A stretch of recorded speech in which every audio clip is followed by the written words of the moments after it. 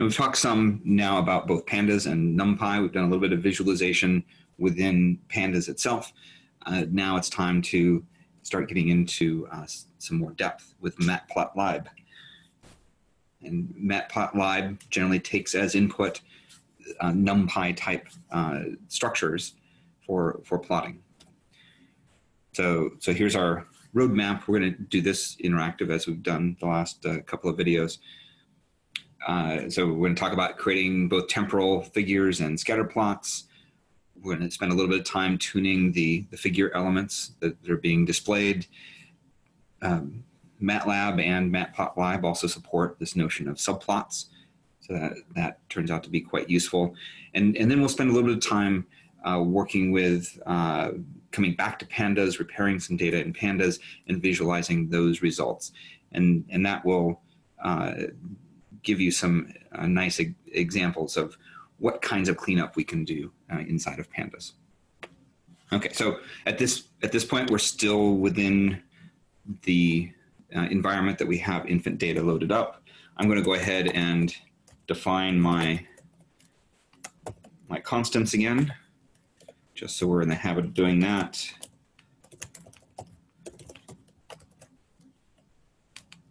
Font size of 18, figure size of 10 by 6.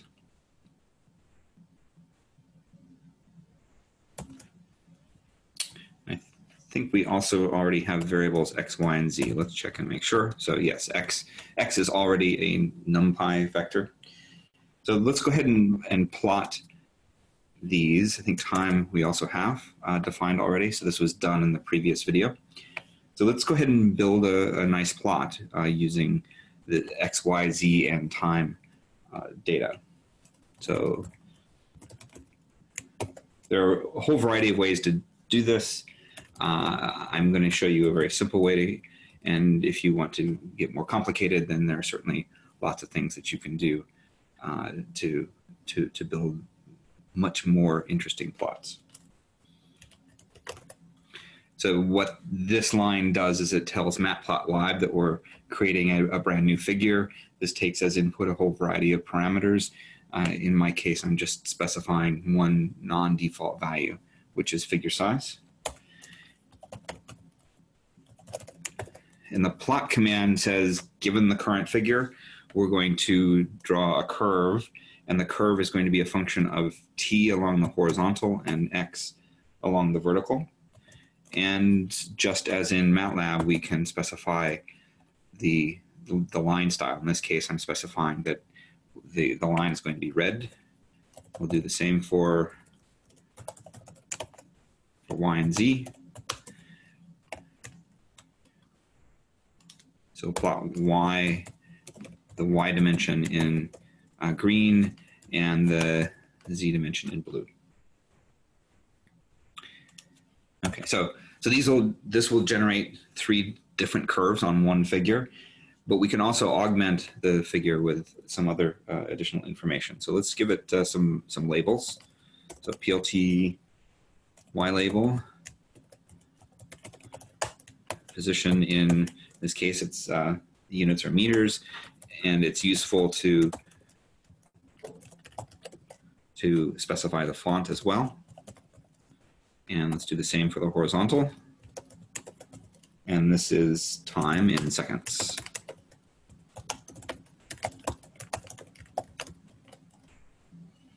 And I'm going to add a legend as well. That takes as input a list that should be then correspond, the length of it should correspond to the number of curves that we've dropped into the figure, so our x, y, z there. And I'm also going to specify a font size.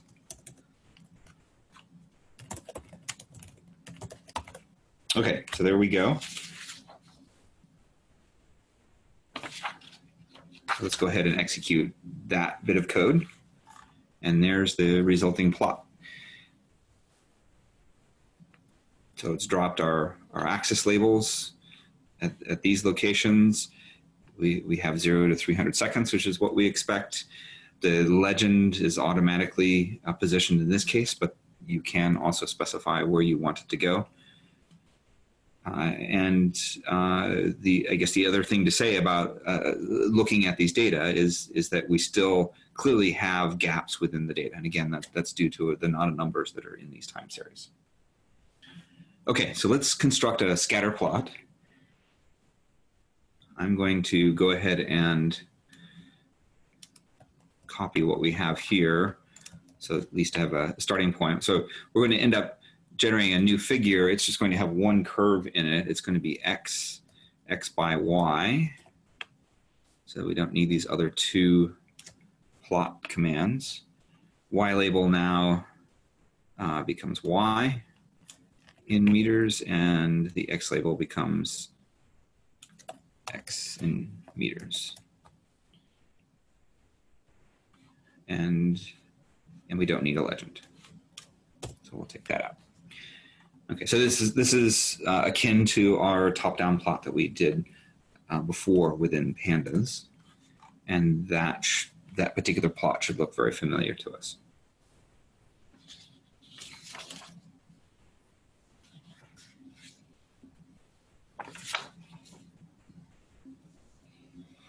Likewise, we can also look at x versus z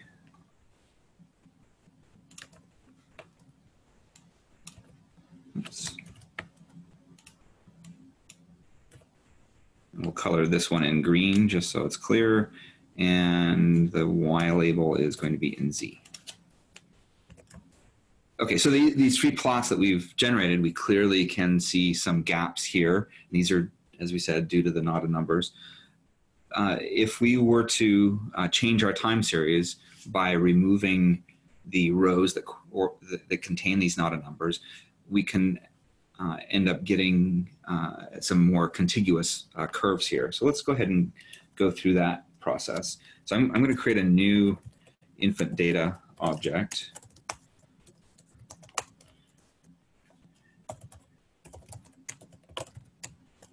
So this is this is based on our original data frame, and the drop drop in a function. What it does is it says I with, without any parameters, it works through the data set and identifies rows that contain a not a number somewhere. So it doesn't have not a number doesn't have to occur across all elements of the, the row, it just has to occur in one of them. And the output is a brand new data frame object that contains just the rows that do not have not a numbers. So let's go ahead and and do that. Execute that. Let's let's describe infant data. And then we'll also describe the new infant data.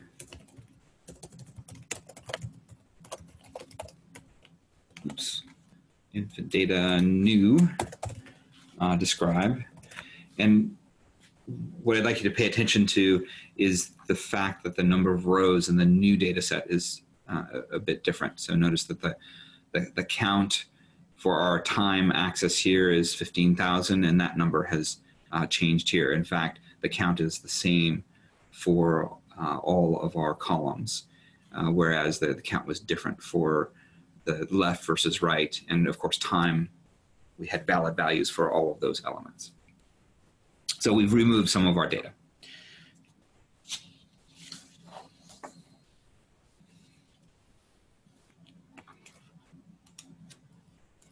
Okay, next up, let's go ahead and extract the NumPy vectors from this new data set.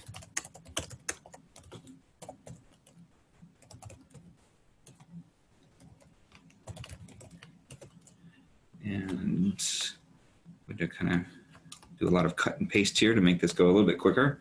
So x new is left wrist x And likewise, we're going to do this for Y and Z. Oops. Y, Z, left wrist, left wrist Y, and left wrist Z.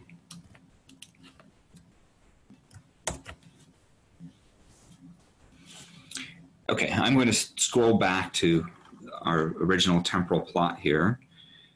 So just take a, a, quick look at that and remember that we do have the, the gaps in the, in the data. We're now going to generate a plot. We're going to build a plot that is very similar to this one. Except instead of using our original data, we're going to use our, our new data. So t new, x new, y new, and z new. Okay, otherwise everything stays the same. And now if you look at that temporal plot, you, you can see that uh, there are no more gaps. And, and the reason behind this is now uh, the, the not a numbers are, are, are no longer there. Before, when we had not a number, what the plot routine does is it just doesn't plot that segment of the curve. Now that we've removed the not a numbers, uh, what uh, happens, because this is a line plot, is that it just does linear interpolation from uh, the, the, the last uh, valid value to the next valid value. So for example, the missing data that we had in this area here now is just turned into a linear interpolation. Likewise, let's pan back up and stare at this figure here. Let's, let's generate the, the corresponding figure. So this is with the original data, and again, there are gaps there.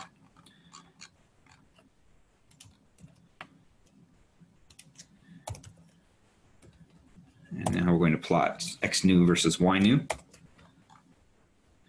And, and you can see the, the general shape of the plot is the same, but now we no longer have the, the gaps.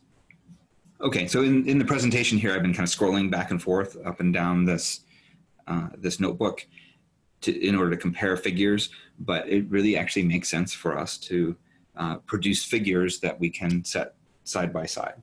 So let's go ahead and and do that in, in this context here. Um, I'm going to go ahead and and uh, paste in our original plot routine uh, for x versus y. And now what we're going to do is not put them just in, put one in a figure, we're going to put multiples in a figure. And the way that we do this is uh, by using the subplot command. So let me set that up.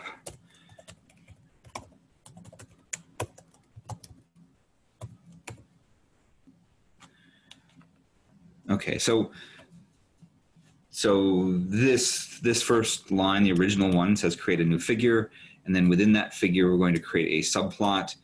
The one means that there's going to be one row of subplots and two columns, and this is the first element of, of that set. So, uh, so this allows us to address uh, individual cells within this grid. So by setting up this the subplot, the next plot command or commands will get dropped in into that subplot. So, so we'll have that there. And let's also plot our cleaned up data. So now I'm going to switch over to subplot. It's still one row, two columns, but we're going to go to the second element in that grid and plot x new versus y new. And for fun, we'll make this uh, green. Okay, so let me execute that. And, and now we have a figure that contains two subplots. And there are, uh, there, there's one row of these subplots and uh, two columns. And, and, you, and this gives us a nice ability to very directly compare the original data in red against the, the data in green. And you'll see, say, for example, there's, there's a gap right there, and that has been repaired by linear interpolation. That linear interpolation has happened inside the plotting mechanism. It hasn't changed our data at all. In, in this particular case, we've, we've sort of squished the, the uh, horizontal axis here. So it actually could be convenient to make a modification to our figure size. Say it would be nice to double the, the, the width of our figure. Um, the thing to remember is that figure size itself is a tuple with two elements. So let's create a, a new tuple based on figure size. So uh, doing things this way, uh, this says go to the figure size tuple, extract the zeroth element and use it as the zeroth element for the new tuple. And then the one element, we're going to extract that and use that for the one element for our, tuple. So this, the, for the new tuple, this is not going to change how the figure is laid out, but we can change, for example, uh, the, the width. So let me, so I'm going to add this multiply that the, the zeroth element by two and and now we've uh, increased the the width of the total figure by a factor of two. And, and then that allows the subplots to fill in a little bit more naturally. I want to show you one other thing, just for emphasis, we'll put it in a different place in our notebook here. So I'm starting from our same configuration. I'm, I'm going to go back to our original width, but we're going to change our height by two so this subplot, again, it's row, number of rows, number of columns. Let's switch that around. So we're going to do two rows and one column and two rows and one column here. So the, the this one here is still correct. Uh, and this two is, is still correct because we wanted to go into the first cell versus the second cell.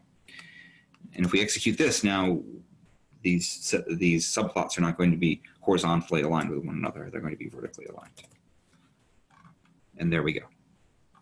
In fact, that plot's a little bit too big to fit on my screen. Okay, the last thing I want to show you is an alternative to handling our invalid values. And before we just remove those rows, another possibility is for us to replace the, the values in, of, those in, of those invalid cells uh, with something else. And there are a variety of different ways to accomplish this. One possibility is just to choose a, a constant value. So, so let's, let me show you how that works.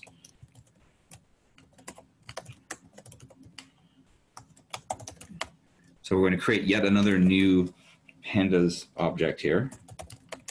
Infant data fill NA.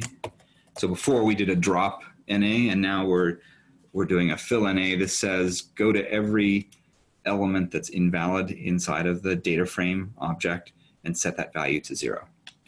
And depending upon your data set, this particular choice might might be okay. It might make sense to pick a, a different value, like a, a, median or, or a mean value to fill in. Uh, for this particular data set, it doesn't make a whole lot of sense, and, and that'll become clear here in a moment. I am missing a dot right there. And then we also need to extract out the new data. And I'm going to pause, just cut out that statement there. Now that we have this new data frame object, I'm going to go ahead and extract our time elements and X, Y, and Z elements. So you've already seen how that works. And now let's go ahead and generate a, a temporal plot of this. And I'm going to go ahead and use a non-default fig size here. Make it twice as high.